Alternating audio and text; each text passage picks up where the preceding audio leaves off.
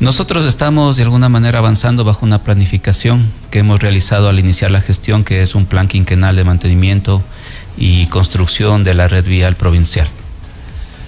Y sobre todo la red vial, eh, ¿cuánta competencia se ha dado y cuánta importancia le ha dado a vías que se han convertido en principales siendo alternas? Digo esto obviamente por la circunstancia en la que viven algunas vías que tienen saturación de vehículos y que buscan precisamente esta movilidad a través de estas vías. ¿Cómo se va priorizando para darles viabilidad a cada una de ellas?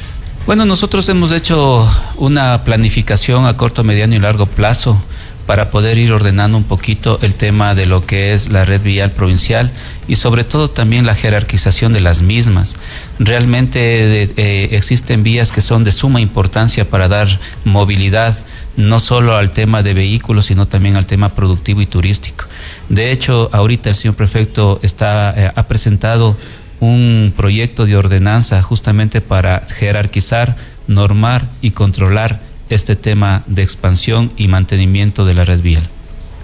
Sí, eh, Ángel, buenos días nuevamente, bienvenido. Buenos días. Eh, ¿Cómo se encontró el Consejo Provincial antes de su llegada, por supuesto? ¿Cuáles son esos proyectos que han estado pendientes? ¿En cuáles se van a fundamentar o se están fundamentando para seguir con el trabajo en el futuro? Bueno, nosotros recibimos una administración sin cumplir eh, eh, la transición correspondiente, si bien esto no está normado, pero es un proceso saludable de transferir justamente lo que se venía realizando y articular a lo que nosotros podíamos realizar. En ese sentido hemos, nos hemos tomado el tiempo, hemos tenido dificultades, en especial en temas contractuales hay muchas obras que lastimosamente eh, tienen problemas, de hecho muchas de ellas, algunas están abandonadas por los contratistas. Eh, estamos tomando acciones enmarcados en normativa y espero y aspiro dar respuesta inmediata a la población en lo que corresponde al tema contractual. Cuando usted habla así, generalmente parecería obviamente que es nada, pero significa mucho para varios sectores. Por ejemplo, ¿qué sucede con la vía entre Riobamba, Cacha? Sí. Bueno, es una vía que fue suscrita en el 2022, ¿no? Y nosotros recibimos eh, este contrato con una suspensión ya aproximadamente casi de seis a siete meses. Entonces no es que de pronto es un, tema que nosotros le hemos generado. De ahí existen unos problemas en el tema netamente técnico administrativo y jurídico. En ese sentido lo hemos venido solventando. No es que se, no se ha hecho nada, se ha avanzado en, una gran parte de tramos, más sin embargo nos encontramos con dos situaciones bastante complejas, mejor dicho, tres situaciones bastante complejas. Uno, el tema de tenencia de tierras, que es, existe un, malestar de una moradora por el paso de la vía y ensanchamiento, la presencia de un accidente geográfico, en este caso una quebrada, que eh, estaba previsto inicialmente un puente que costaba un millón de dólares, pero realmente podemos dar una solución a menor costo. Y la tercera, la reubicación justamente de los postes correspondientes que obviamente influyen directamente en la ejecución. Esto hemos ya tratado eh, esta semana, eh, tuvimos la presencia de la comunidad, se suscribió un acta, obviamente ellos ah, solicitan en el menor tiempo posible la ejecución se les explicó que ya no depende mucho directamente de nosotros y lo que está en nuestras manos hemos de alguna manera dar soluciones. Eh, se le va a dar el reinicio de obra al contratista este día lunes, el día de ayer ya tuve la reunión justamente con él y está todo planificado. La empresa eléctrica también ya eh, el día de ayer hizo la inspección para la reubicación de postes y los diseños de este paso de, de aguas o, una quebrada que está eh, influenciando en el proyecto también ya están con los diseños presentados. Estamos ahorita en revisión y legalización. Son aspectos que no nos, no nos impiden nos impiden continuar, pero tampoco no es un justificativo para no terminar la obra. En lo que tiene que ver eh, la Bilbao, en el Cantón Penipe, también fue anunciada para su recuperación. ¿Cómo avanza eso? De hecho, nosotros ya está, iniciamos los trabajos con la limpieza de los derrumbes, pero también hay que tomar en cuenta que es un contrato justamente suscrito en años anteriores y también tiene el mismo problema. Lastimosamente ahí eh, eh, se incumplió el artículo 23 de la ley, en las cuales no estuvieron acordes a la realidad de la ejecución y fue estamos en un proceso ya finiquitando por terminación del contrato y estamos por eso, eh, una vez terminado, iniciaremos ya la ejecución al 100%. O sea, dependerá mucho de esta parte jurídica para darle nuevamente habilidad a eso. Pero está por en camino. supuesto, por supuesto. No puedo yo intervenir en algo todavía que aún no está resuelto. Lo que sí es claro que estamos haciendo presencia con la limpieza y reconformación para darle una movilidad a este sector y los vehículos no sufran tanto al pasar por que, la vía. que se ha incrementado, ¿no? Se incrementado el movimiento vehicular por ahí. Ya no se utilizaba mucho. ahora. Ah, eh, vea, es una vía considerada de desarrollo no solo provincial, eso es nacional, eso fue algún momento una, una troncal amazónica importantísima y lo que queremos es recuperar en beneficio de la provincia. ¿Qué otros cantones se ven beneficiados precisamente con obra pública vial? Nosotros ahorita hemos hecho presencia en los primeros siete meses de la administración del ingeniero Hermel Tayupanda, el, la del cantón Cumandá, Payatanga, eh, Alausí, Chunchi.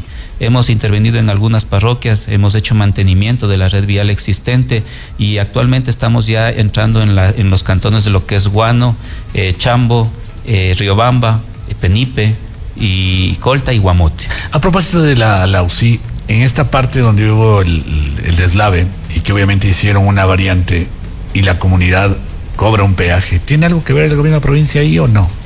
No tenemos nada que ver, más bien nosotros nos hemos enfocado en darle alternativas específicamente para eh, que se pueda eh, la provincia conectar con el austro ecuatoriano. Hemos intervenido en lo que es la García Moreno, hemos eh, rehabilitado lo que es la vía Pueblo Viejo, hemos estado dando mantenimiento a la vía de Charicando, que son las tres opciones que nosotros hemos puesto a consideración de la población para que puedan tener una movilidad. Eh, la vía que hace mención usted es una alternativa, pero no está bajo la directriz del, gobierno provincial. Actualmente se hizo una nueva socialización con el municipio para darle una nueva alternativa, eh, considerando un diseño justamente presentado por el municipio. Se hizo las existe un conflicto interno en el cantón justamente por la, eh, la socialización. Espero y aspiro sea solucionado este tema dentro de la población de Alausí para poder hacer las inversiones respectivas. En lo que tiene que ver en la parte rural de Riobamba, también se tiene atención vial. Por supuesto, eh, estamos haciendo presencia justamente en las parroquias rurales de Riobamba y parte de los barrios periféricos también. Lo que sí es importante aquí y tenemos que articularnos con no solo con las áreas urbanas de los municipios o parroquias correspondientes, sino también tenemos que eh, eso normar y jerarquizar, como digo, en una ordenanza que está tratándose para poder hacer las intervenciones mucho más fáciles.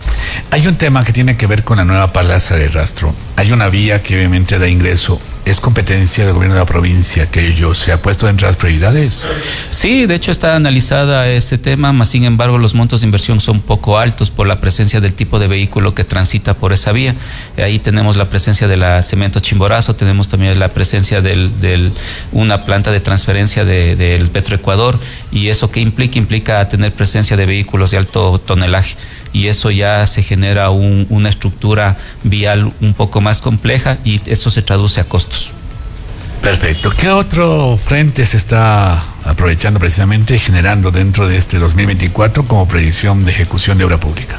Bueno, nosotros tenemos varias eh, alternativas de intervención en todo la, lo que es la provincia. Eh, como le manifestaba, en este momento vamos a enfocarnos en los cantones de Guamote, Colta, Riobamba, eh, Chambo, Penipe, Guano y Riobamba. Entonces, eh, estamos ya haciendo presencia en cada uno de esos cantones, unos con mantenimiento de la red vial astrada, otros con mantenimiento de la red vial asfaltada. Por ejemplo, en Chambo estamos ahorita haciendo eh, el bacheo eh, del mantenimiento de lo que es el puente del río Chambo hacia el ingreso a la, a la matriz.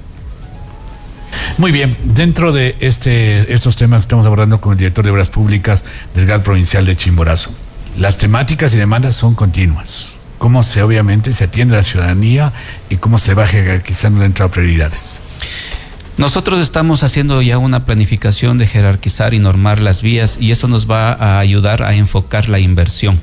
Eh, realmente todo es necesario, pero sí hay es que ser eh, muy claros en que, en que todo no tampoco vamos a poder atender. Tenemos aproximadamente 4.000 kilómetros de red vial provincial y de alguna manera nos toca hacer todos los esfuerzos para cubrir la mayor cantidad de esta red vial. Muy bien, dentro de este nuestro primer diálogo, creo que es importante este acercamiento. Es la primera vez que tenemos funcionarios del gobierno de la provincia para poder dialogar. Seguro tendremos inquietudes para una próxima. Quiero agradecerle por estar presente con nosotros, por difundir esta información. Y si tiene algo más que comentarnos dentro de ese trabajo que es constante de parte del gobierno de la provincia, a la orden.